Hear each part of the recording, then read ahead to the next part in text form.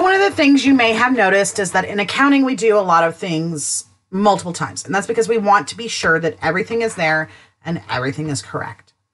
So after you have prepared all the adjusting journal entries and they have been journalized uh, and posted to the appropriate ledgers, we create another trial balance from those ledger accounts. The adjusted trial balance shows whether the balances of all the accounts, including those that have been adjusted at the end of the accounting period, continue to prove the equality of debits and credit balances in the ledger. We then use this adjusted trial balance as the basis for the preparation of our financial statements. An adjusted trial balance for Sierra Corporation is shown here. And you'll notice that the accounts that are in red are the ones that we had adjusted. After we have created our adjustments, we go back to ascertain was the effect that of which we expected.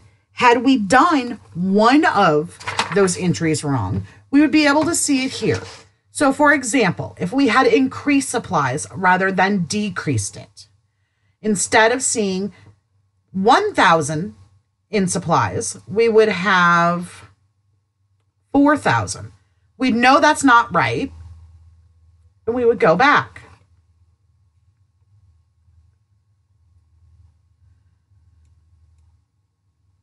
Which of these statements is incorrect in regards to the adjusted trial balance? I'll give you just a moment to read through these and think it through.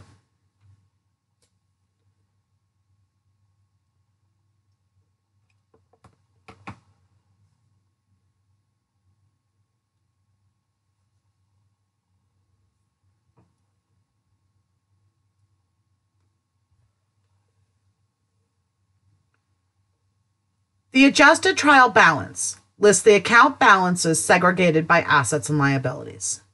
This is not true. This is incorrect. Because remember, it just shows all your assets, your liabilities, your owner's equities, your revenues, and your expenses. We create the financial statements directly from the adjusted trial balance. We begin with the income statement move to the retained earnings, and then the balance sheet. Starting with the income statement, we pull revenues and expense amounts and translate them over to the income statement. We then can generate net income. We pull the beginning retained earnings from the adjusted trial balance. We add what we've calculated our net income to be. We look for any dividends and reduce by those dividends to tell us what our retained earnings on October 31st will be.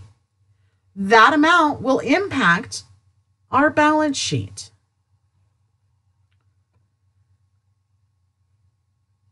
We translate all the normal assets and liability account amounts over we pull common stock over from the adjusted trial balance. We recognize what the new retained earnings are and calculate total stockholders' equity.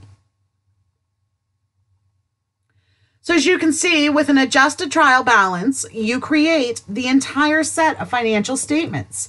However, they have to be created in a definitive order. The income statement, the statement of retained earnings, and then the balance sheets.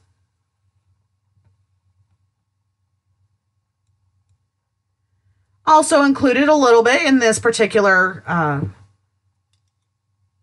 chapter is some conversation about the quality of earnings. Earnings management is what we call the planned timing of revenues, expenses, gains, and losses to smooth out bumps in our net income. Companies engage in what's called earnings management uh, through either one time items that can prop up our earnings numbers, inflating revenues in the short run, or improper journal entries. Earnings management is really important to be aware of because sometimes things in earnings management, such as, okay, well, we'll sell this asset to prop up our numbers, is okay.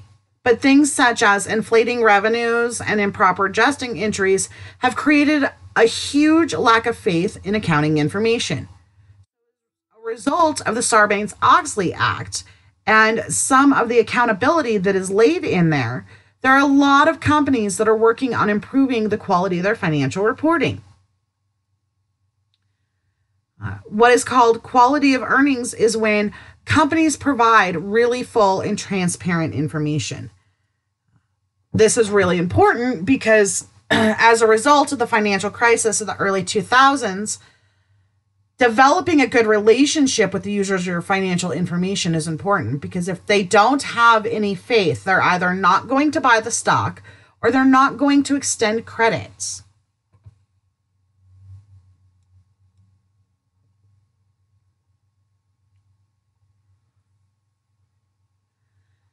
So here we have Skolnick Company, organized in April of 2017.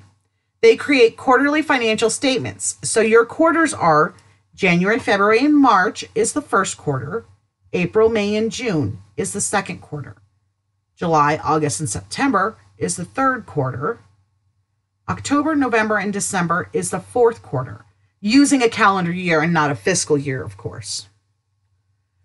So we're asked to determine the net income for the quarter April 1st to June 30th we have the adjusted trial balance here, and then determine what total assets and total liabilities are at June 30th, and determine what the balance and retained earnings is at June 30th, 2017. To determine the net income for the quarter ended April 1st, oh, sorry, the quarter ended June 30th, we began by transferring our revenues and we have service revenues of 14,200. We also have additional rent revenues of 800, giving us total revenues of $15,000. We transfer over the various expenses. So we have the salaries and wages expense, rent, depreciation, utilities, and supplies and finally, the interest expense.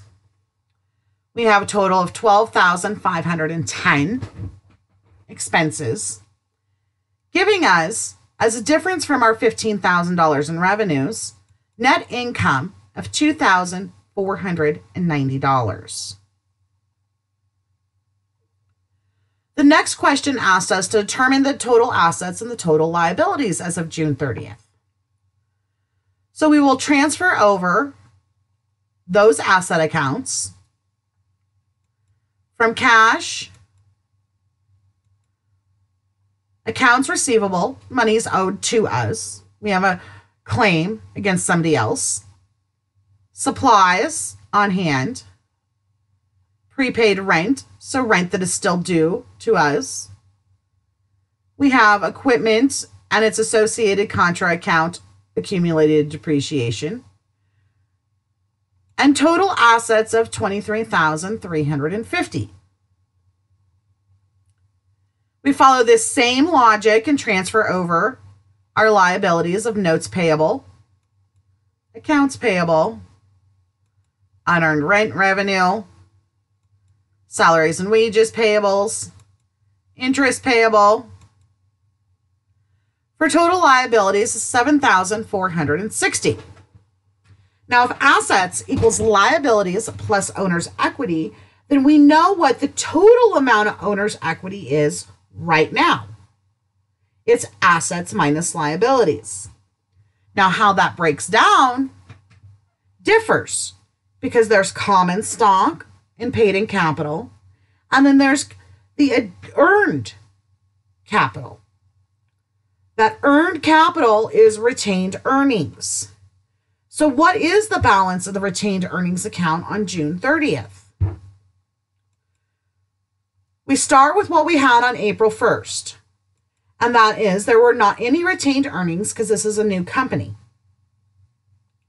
We add net income of 2490 and on our adjusted trial balance there were dividends paid out of 600 that leaves us with continued retained earnings moving forward of $1,890 on June 30th.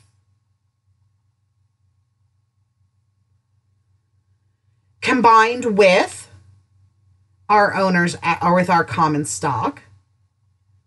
And then add the liabilities to that amount, and we will have the same amount as our total assets.